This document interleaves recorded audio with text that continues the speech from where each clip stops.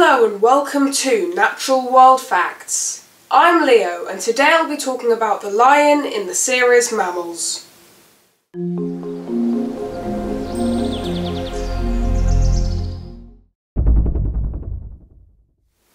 The lion is the second largest big cat in the world, behind the tiger. Unlike other cats, lions are very social animals. They live in groups called prides, which contain around 30 lions. A pride consists of up to three males, a dozen related females, and their young. Lions have a very powerful roar, which can be heard up to 8 kilometers, which is 5 miles away. Males and females take on very different roles in the pride.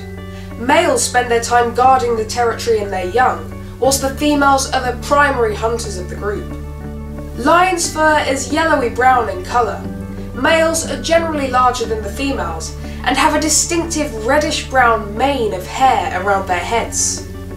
The mane is to make the males look more impressive to females and more intimidating to other males, the mane also helps to protect their neck in fights over territory or mating rights.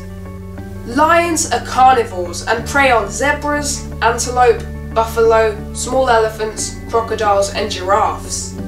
They hunt by stealth, and since their prey is usually faster than them, lions use teamwork to form a semicircle to herd the prey into the centre before attacking and killing the prey. All the lions in the pride will share the meal, but there is a pecking order, with the adult males eating first, followed by the lionesses, and then the cubs.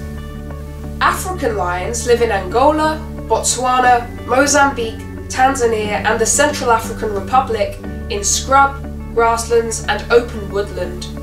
They wander a territory of 100 square miles, which is 260 square kilometres.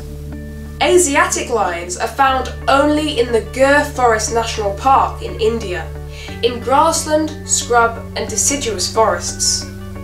Lionesses have a gestation period of around 4 months and give birth to 2 to 3 cubs at a time. She will give birth to her young away from others and hide her cubs for the first 6 weeks of their lives. All the females in a pride mate at the same time. After the first 6 weeks, the cubs will be taken care of by all the females in the group and will be often nursed by those other than their mother. African lions are listed as vulnerable on the IUCN Red List of Threatened Species due to habitat loss, hunting, and diseases spread from domestic dogs in nearby villages. Asiatic lions are listed as endangered with a population of only around 350 left. This is due to habitat loss. Thank you for watching Natural World Facts. For more facts about mammals, click here, or to become a subscriber, click here.